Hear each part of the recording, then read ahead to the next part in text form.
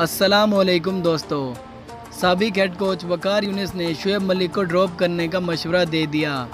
एक इंटरव्यू में वकार यूनिस ने कहा है कि रिवायती हरीफ भारत के खिलाफ मैच में पाकिस्तान को चार पेसर्स और एक स्पिनर शहदाब खान के साथ मैदान में उतरना चाहिए। वकार यूनिस ने कहा है कि भारत के खिलाफ मैच में ग्रीन शर्ट्स को अपनी बेहतरीन सलाहियतों का इस्तेमाल करना होगा। वकार यूनिस ने कहा है कि मेरे ख्याल में पाकिस्तान को चार पेसर्स और एक स्पिनर के साथ मैदान में उतरना चाहिए। इसलिए शुएब मलिक को ड्रॉप किया जा सकता है।